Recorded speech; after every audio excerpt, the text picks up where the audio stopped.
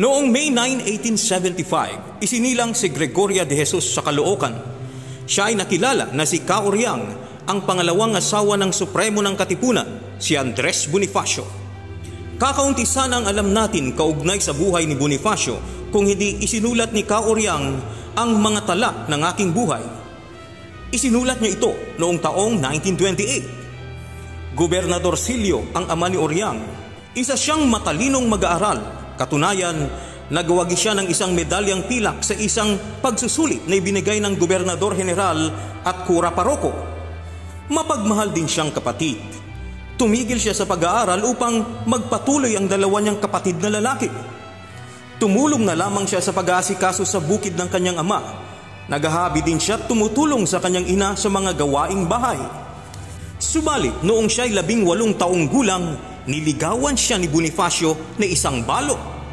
Mahal din niya si Andres, subalit hindi niya masabi sa kanyang mga magulang. Pero lingid sa kanyang kaalaman, kinakausap na pala ni Andres ang kanyang mga magulang. Subalit, nagkaroon ng isang problema. Isang mason si Andres. Ayaw ng mga magulang ni Oriang sa isang mason dahil itinuturing noon ang mga mason na walang Diyos. Gayunman, Pumayag din ang kanyang mga magulang nang sinabi nilang ikakasal sila sa Binondo.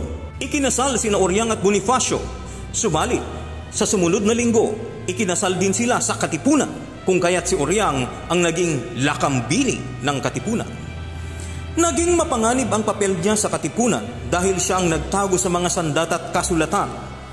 Nagkaanak sina Andres at Oriang subalit namatay ang bata dahil sa smallpox. Nakunan din si Uryang sa ikalawasanan nilang anak. Para naman sa himagsikan, nagsanay si Uryang na sumakay ng kabayo, humawak ng sandat at makipaglaban. Sa pakikibaka, dinanas niya ang maraming hirap at pasakit. Pinakamasakit dito ang pagpaslang ng kapwa Pilipino sa kanyang asawa.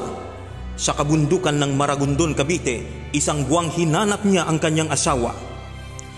Inalagaan siya ng kaibigan ni Andres na si Julio Nakpil at noong 1898, ikinasal si Uriang at Julio.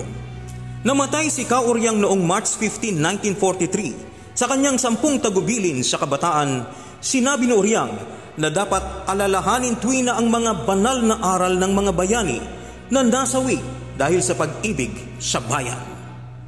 At yan ang kwento natin sa oras na ito. Ako po si George Jopo Guerrero na imbag oras yung amin, kaibigan.